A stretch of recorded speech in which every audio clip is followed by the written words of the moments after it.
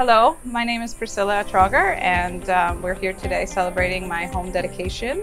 Um, we are very grateful to have this day today. We've been looking forward to this um, for the last 18 months, been in the program.